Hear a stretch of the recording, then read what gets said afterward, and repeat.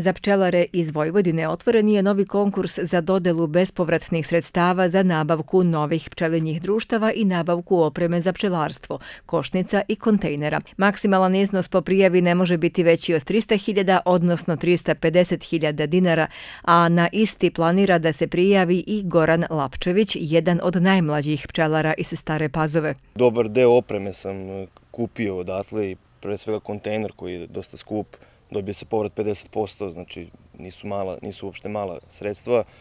Planiram i sada i u budućnosti, naravno, kad god je prilika da koristim sredstva. Koristio si sredstva sa pokrajine, republike ili opštine?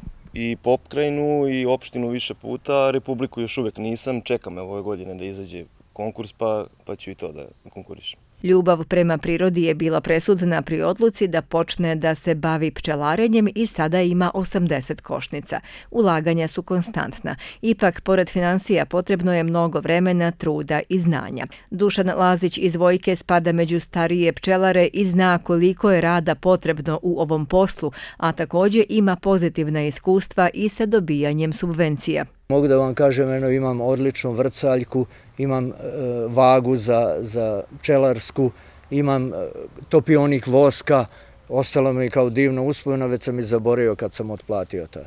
I dok završavaju sa posljednjim vrcanjem suncokretovog meda, oba sagovornika kažu da se ne žale na prinose, iako je bilo i boljih godina. Saglasni su i u tome da su ulaganja u pčelarstvo velika i svaki vide subvencija dobro dođe.